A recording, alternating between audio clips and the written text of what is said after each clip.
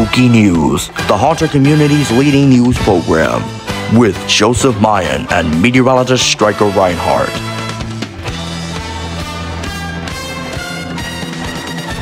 Well, another convention has taken place. Now, this time it was the Midwest Haunters Convention, which took place in Chicago. The Midwest Haunter Convention took place last Saturday, and it looked like another great convention, just like East Coast, the one that I went to back in April. It is June 11th. And the big story on Spooky News tonight is the Midwest Haunters Convention took place last Saturday in Chicago. I've seen a ton of videos posted from all the haunters over there that went to the Midwest Haunters Convention, and it looked like an absolute great time. It looked the same as the East Coast Haunted Convention, the one that I went to in April. I saw a lot of you guys there, and I am planning to go back to East Coast in 2025. And there is talk about Midwest. I'm gonna talk about that in the future.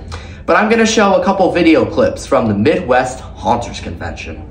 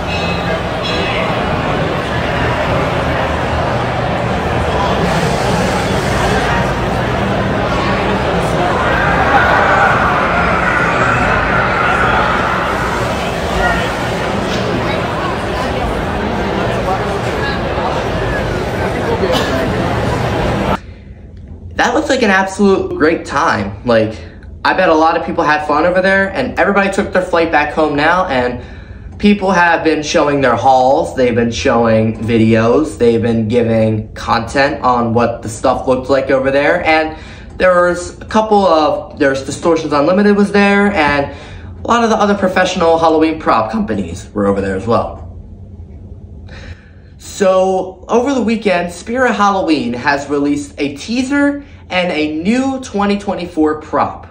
And I'm gonna play the teaser right now.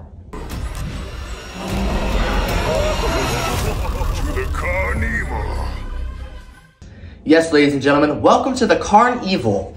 Now, this is a circus theme that Spirit Halloween's doing this year. We have not seen a circus theme in well over 11 to 12 years. The last circus theme we had was in 2010 and 2013, and now 2024. So three years of circus theme, but we haven't had a circus theme since 2013. So it's the first time in about 11 years that we're getting a circus theme. And also, an Art the Clown prop from Spirit Halloween was released as well.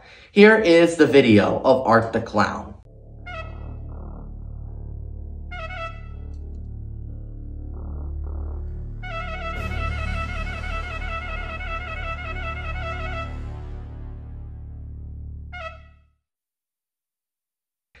Has got some great detail onto him. I wish he had blood, but I'm not going to complain too much about that. I really like the face on that guy. And it honestly tops Party City because I really don't like Party City's one. The Party City one had like a really goofy face. And I feel like this is the face from the actual movie. Like, I actually love this face on this prop. Like, it's an actually very cool prop.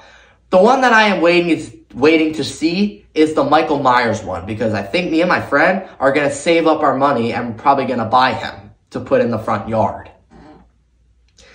So a new broadcasting series has started on this channel as well. It's called Spooky 10. And that is pretty much an analysis series, which I'm going to be diving more deeper into the Spirit Halloween stuff and I'm going to be discussing more on the themes for Spirit Halloween because when I do the broadcast, I can only do it so short and show the video clips. So this series is really like more of an inside story to what I want to do on this news channel. Like I'm gonna go, I'm gonna start going deeper into what I'm gonna talk about. It's gonna be more detail and it's gonna show a lot more stuff. And it's all gonna be in 10 minute video. So, more episodes of Spooky 10 are definitely going to come out in the future. No doubt about that. But anyway, it's time for shoutouts.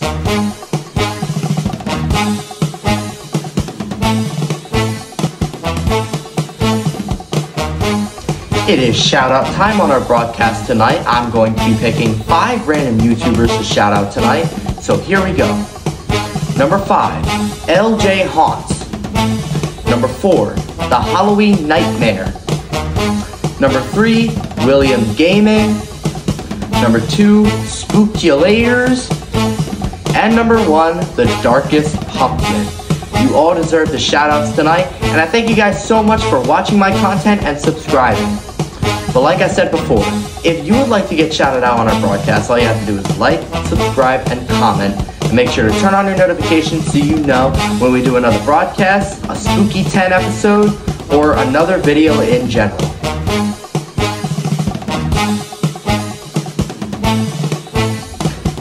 So there's been some theories about the Spirit Halloween props that were in that teaser, and there have been some images on Jay Hahn's story, and I think these are the names for the props of 2023. So this first one here is Death Ray. There's no price for this one yet, but it does look like a pretty cool prop. The second one, this is the second and last one. The second one is the Cremator. And this is the one holding the skull in its hands. And its price is going for 130, which seems like a reasonable price.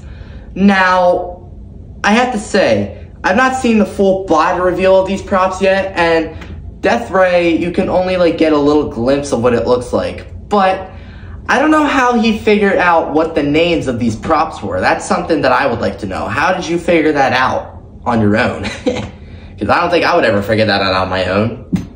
About a couple days ago, I had interviewed the Voina experience.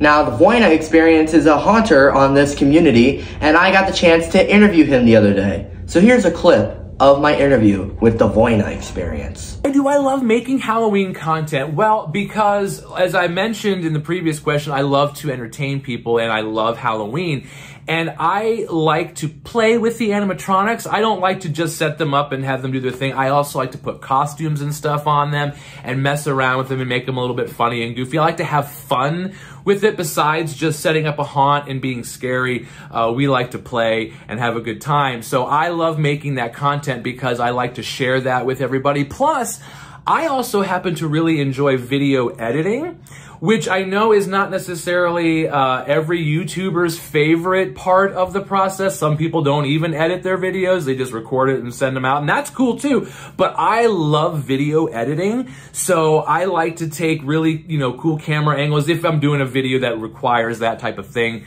Um, but I like to see what kind of fun editing things that I can do with it to make it funny or to make it scary. Um, if you watch, I have on my channel a video where we celebrated Friday the 13th last season and I kind of had some fun little editing things with that. We also made a short during the whole Wes Anderson uh, thing that was going through social media there for a while. It was pretty popular and we made one. I thought that was a lot of fun. So I really just like making videos and editing them and I, I you know, that's just kind of why I like making Halloween content. Brett from the Voina Experience is a very nice guy, and he seems to know a lot about Halloween. The next person I'm going to be interviewing for the 2024 season is the flagship Phantom. Now, we're going to figure out a way of how we're going to do that interview. I'm probably going to message him either on Instagram or Discord, wherever I can get in touch with him. So this guy named Machine Washable 101 posted a video the other day and it caught my attention. It's about what do haunters dream of? And it actually is very, very relatable. Here's a look at that.